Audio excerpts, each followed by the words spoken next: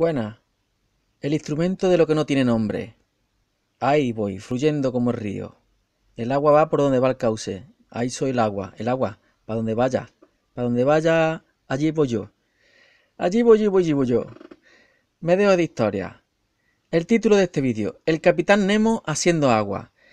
Simboliza de alguna manera de que en un proyecto anterior que yo, que yo llamaba Buscando a Nemo, recibí la, ayuda de un amigo mío, de aquí le mando un fuerte abrazo.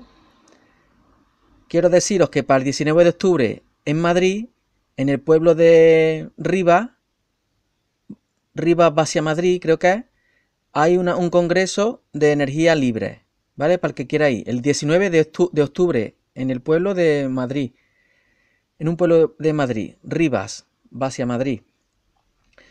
Bien, en ese proyecto que era Buscando a Nemo, os voy a resumir la idea rápidamente, se trataba de lo siguiente.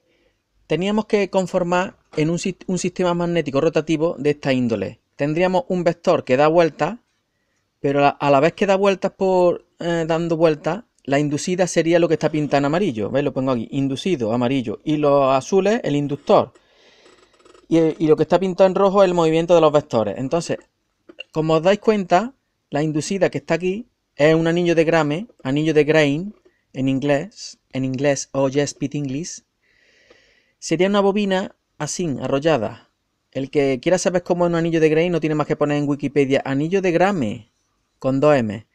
Y verá que los primeros motores había un campo, un campo, por ejemplo, aquí, de este un campo norte, aquí un campo sur, y se hacía girar un anillo de hierro donde estaba arrollado una bobina, como un anillo toroidal, giraba y esos eran los primeros motores. El roto era un anillo de Grain. Pues yo estaba investigando sobre el anillo de Grame estático. Debía colocar los polos y de esta manera va a girar por aquí, pero aparte de crear un campo magnético rotativo por dentro, otro campo magnético rotativo por fuera, para que al final se creen unas corrientes vectoriales en el primer semiciclo así, ¿vale? Va, a haber unos, olvidaros del semiciclo, va a haber unas corrientes circulares, unas corrientes magnéticas por dentro del anillo de Grame. El anillo de Grame ya he podido conseguirlo eh, estático y vamos a ver el mamotreto que tengo aquí liado. Mirad. El anillo de Grame tiene aspecto hexagonal. 1, 2, 3, 4, 5, 6 lados. Y son estas bobinas. ¿Las veis ahí? Una bobina en serie con otra en serie con otra, en serie con otra, hasta crear un campo, un anillo de grame de forma hexagonal, ¿vale? Este campo anillo de grame hexagonal, voy a coger un punto, son muchas bobinas, ¿no? Pero voy a coger un punto diametralmente opuesto y de ahí voy a sacar a un amperímetro y también a un voltímetro. ¿Vale? Para ver lo que se, cuando esto empieza a dar vuelta, ves qué tensión se genera en, puntos diametrales de esa bobina y cuando yo cortocircuite con el amperímetro veremos qué, qué amperios o qué miliamperios circulan esa corriente por ahí. Entonces, mm, quiero ver si aquí también se aplica la ley de Lane.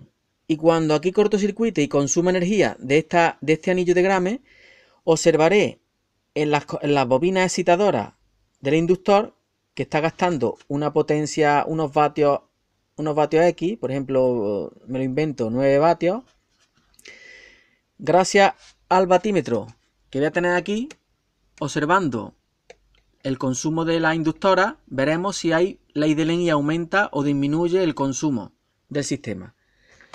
Bien, para ello tenemos las piezas siguientes. Circuito magnético en hexagonal, anillo, anillo de grama estático, para excitar esos inductores que van a estar, como veis, en un sistema trifásico, vamos a utilizar el driver de un motor de Brule. Brule significa LED sin escobilla, un motor sin escobilla. Un generador trifásico, a partir de una corriente continua, genera tres fases, U, V y W. En el osciloscopio voy a medir con dos toroides las dos fases. Como no tengo más canales, voy a medir dos, dos líneas para ver la señal en el osciloscopio, que lo tengo ahí preparado. Aquí tengo la sonda. ¿Cómo estoy midiendo? Pues mirad, aquí tenemos las tres fases, 1, 2 y 3, alimentando el sistema. El sistema quiere decir que el sistema lo tengo puesto en triángulo. o en delta. Se llama triángulo delta. ¿Qué significa? Que aquí hay un sistema de imanes, de electroimanes, 1, 2 y 3, y ahora las fases van conectadas una aquí, otra aquí y otra aquí. Esos tres puntos, esos tres puntos son estos tres puntos. Y como observamos, tenemos puesto un anillo toroidal, un medidor toroidal de corriente. Que poco veo.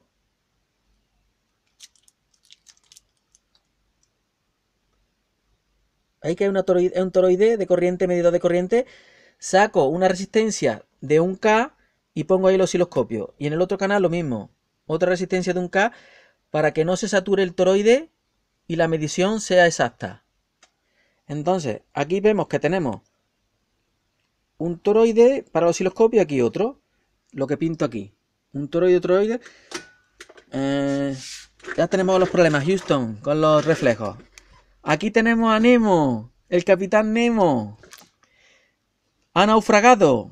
Le hemos echado un salvavidas de color amarillo, un flotador para que, para que, se, para que no se canse. Y el barco se hunde, pobrecito. Esto significa que mi proyecto se hunde. Hay ley de Lane.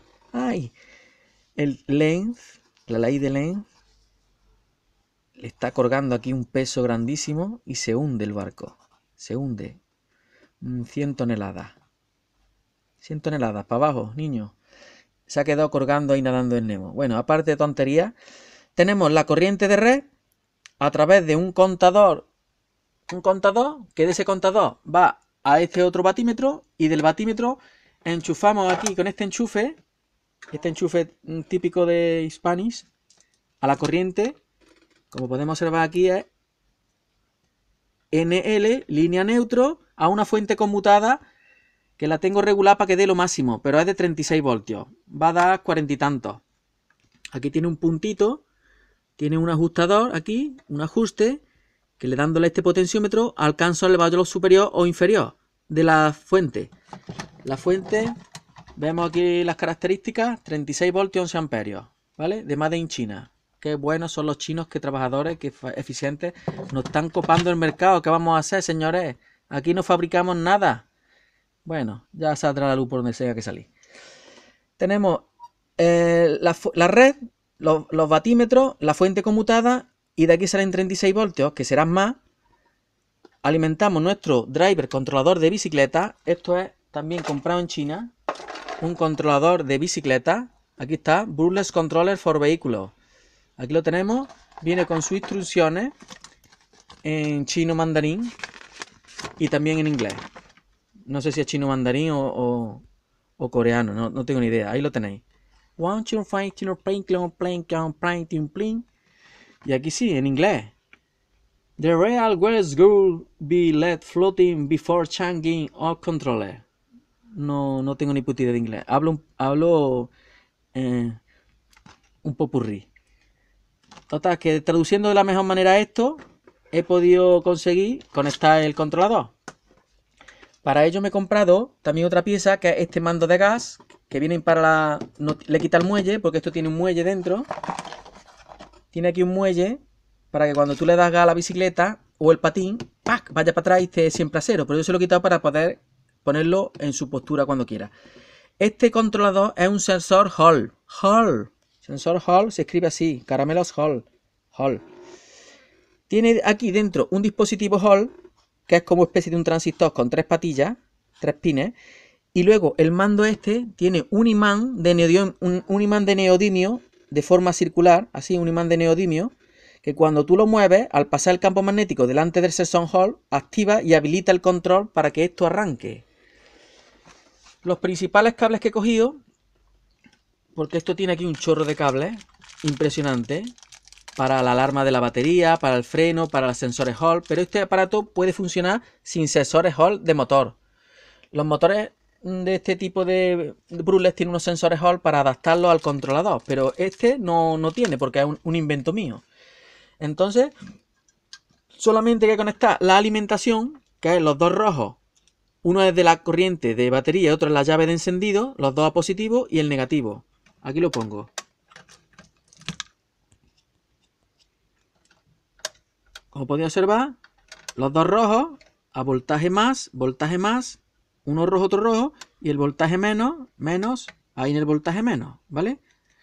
Uno ya sabéis, es la llave, por si el vehículo tiene llave, y le da el positivo para que funcione el driver. Driver significa es controlador en español. Aquí tenemos las características del controlador. Del driver se llama, eh, es de 36 voltios hasta 48, 350 vatios y en máxima potencia o amperaje que controla 18 amperios.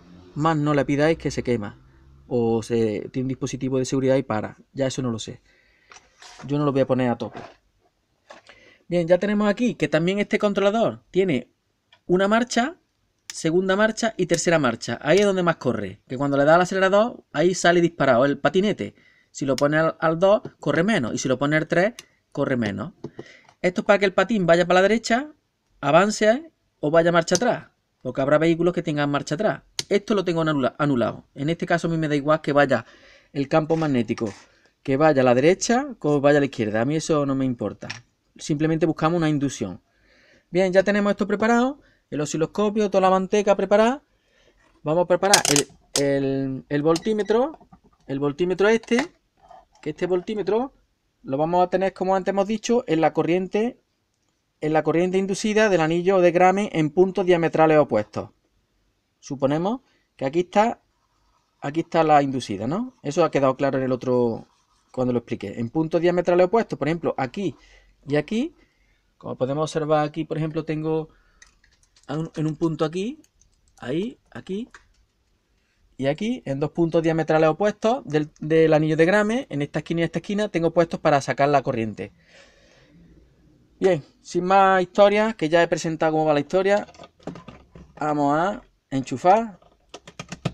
Enchufamos. Comienza a funcionar la fuente conmutada, ya está entregando una tensión de salida de unos cuarenta y tantos voltios tengo un consumo en vacío de 7 vatios, pero el sistema este todavía no ha arrancado, hasta que yo no le dé al gas. Tenemos aquí el osciloscopio, que vamos a ver la forma de onda de dos señales. Cuando yo le doy aquí, voy a poner en velocidad 2, y le voy a dar aquí a ver si tenemos suerte y arranca la primera. Ya ha arrancado. Podemos observar que hay un desfase de 120 grados. Ahora mismo, mirad el periodo que tenemos. Tenemos un periodo, vamos a poner una señal nada más, nada más que la de un canal, Vamos a ver el periodo que tiene para saber la frecuencia. Fijaros. Tiene aquí... Vamos a contar cuadritos. 1, 2, 3, 4, 5, 5,2. 5,2 cuadritos. 5,2 cuadritos. 5,2 cuadritos multiplicado por 0,5.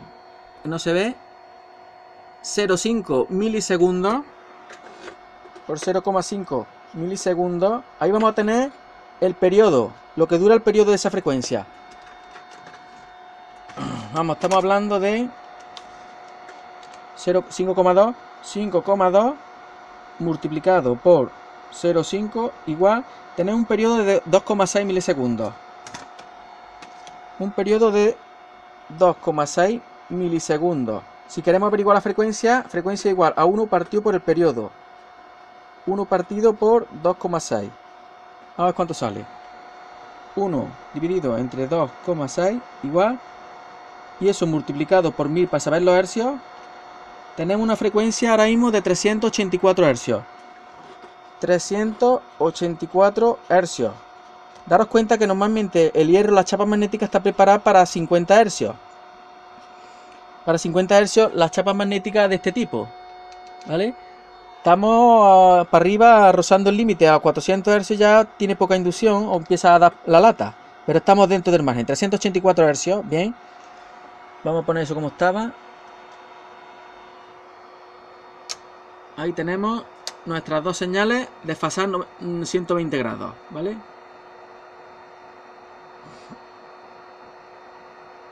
En la cámara se ve así, en la cámara se ve como que desaparece, pero aquí están constantemente representadas.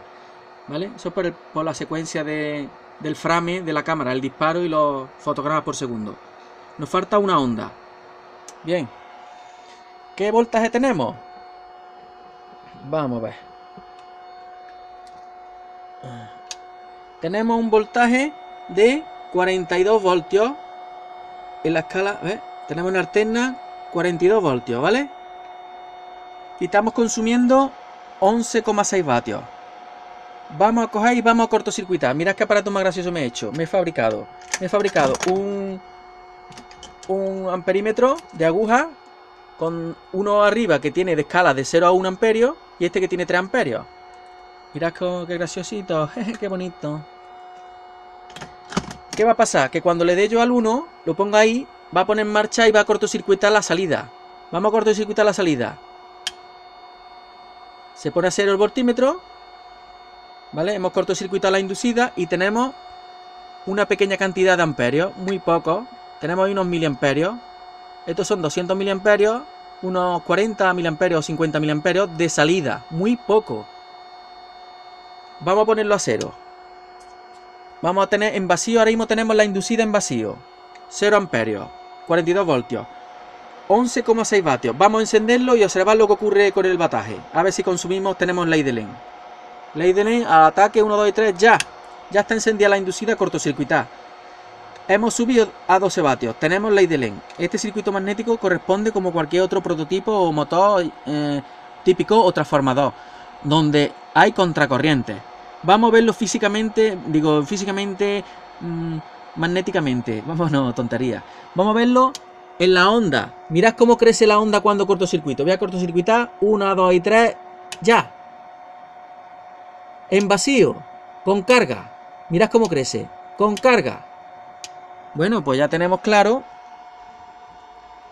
Ya tenemos claro que para esto. Mirad qué gracioso. Ya tenemos claro que ahí le dele. Mirad, está a máximo el gas, ¿no? Voy a quitarle un poquito de gas. Voy a quitarle un poquito de gas y fijaros. Se ha parado, ¿lo has visto? Voy a darle otra vez. Ahí, le quito un poquito de gas. Le voy a quitar un poquito de gas. El acelerador. Ya ha bajado de aceleración, ¿lo veis? Bajo, subo, bajo. Y si bajo mucho se me apaga. Le doy otra vez. Ya está ahí arrancado el driver. Lo bajo un poquito. Le quito gas. Ahí he bajado y baja un poquito más. Si lo bajo mucho se apaga del todo. Bien, ya hemos visto que en este prototipo, por eso digo que Capitán Nemo haciendo agua. Un chapuzón, no hay nada de nada de energía libre ni, ni historia, ¿vale? Mm, la historia se, se acabó, esta historia se ha acabado, ya no hay más en lo que hay, en la realidad, y tendremos que seguir buscando por otro sitio, ¿vale? Mm, ya está, yo no creo que tenga que decir más nada. Esto me ha costado mucho trabajo, deciros que me ha costado bastante trabajo. Eh, las chapitas estas, fijaros cuántas chapitas.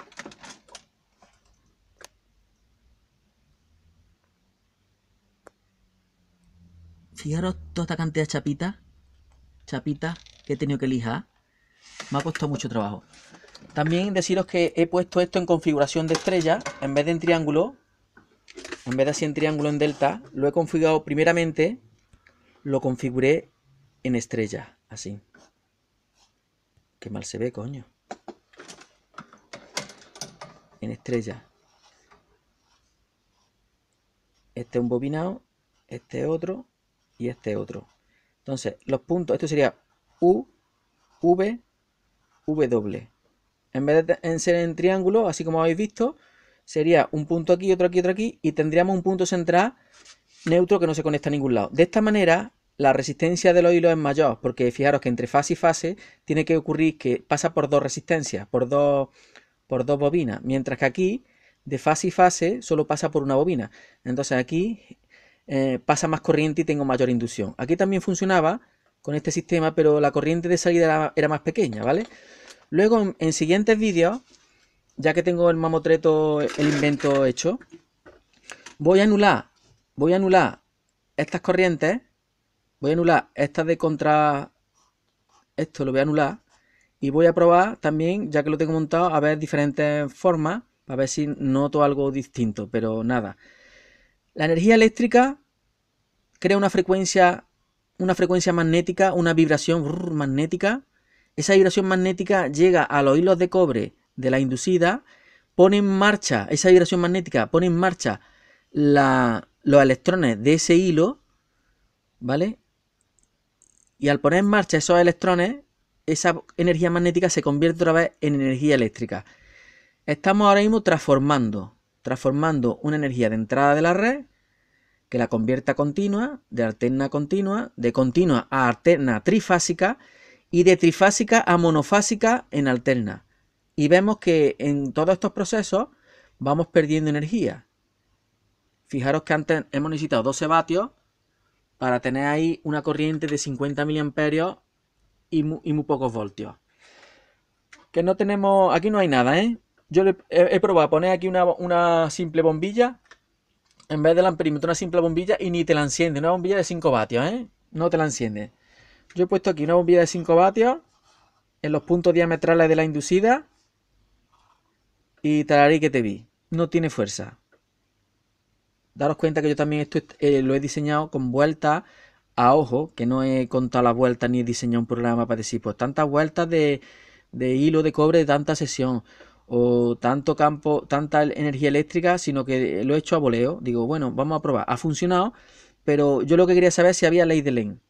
Podemos optimizar este trabajo para que la transformación sea idónea, pero sabemos que al final hay ley de Lane. Entonces, en vez de todo este jaleo, montamos un transformador sencillo y nos quitamos de historia. Bueno, pues ahí lo dejo.